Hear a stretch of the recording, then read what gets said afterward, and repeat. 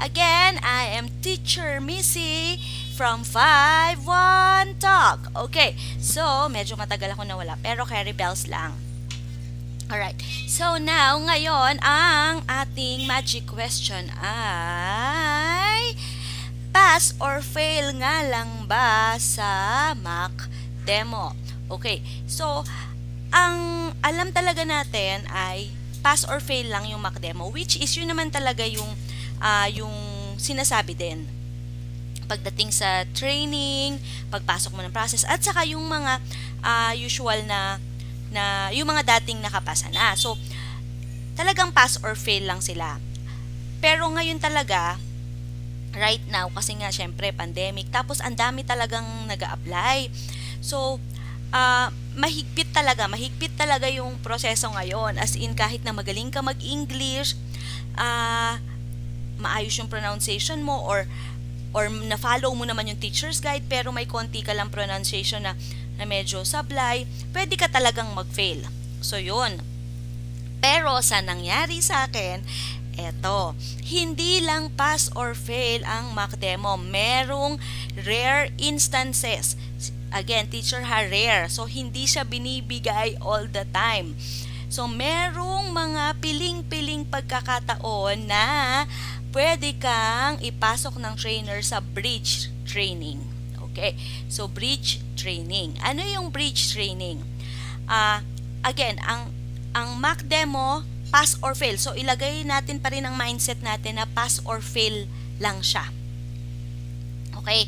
Pero pag meron kang potential, ibig sabihin, may kakayanan ka talaga na magturo. Nakita sa'yo, pwedeng may konti ka lang na, na mali, pero manageable siya. Ipapasok ka ni trainer sa bridge training. Pwede kang, pwede. So, again, rare, rare lang siya. Ha? So, mas maganda pa rin na ang mindset ay pass or fail pa rin siya. Para mas, at least, mas more chances of winning.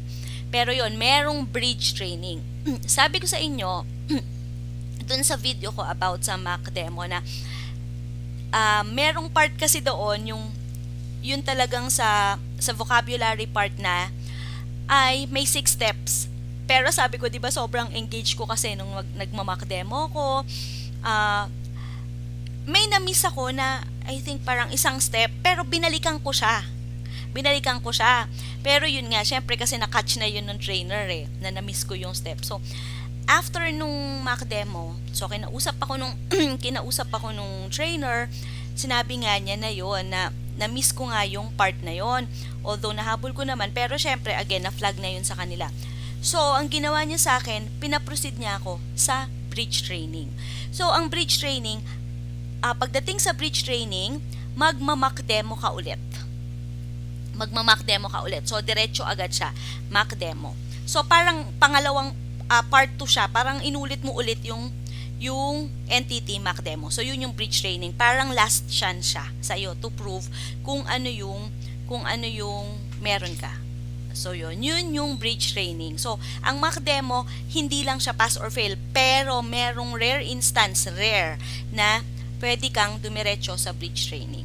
So, nung nag-bridge training ako, binigyan na naman ako ng bagong ide-demo, which is ang ide-demo ko noon ang dinemo ko nung sa bridge training ay yung um, fruit. My favorite fruit.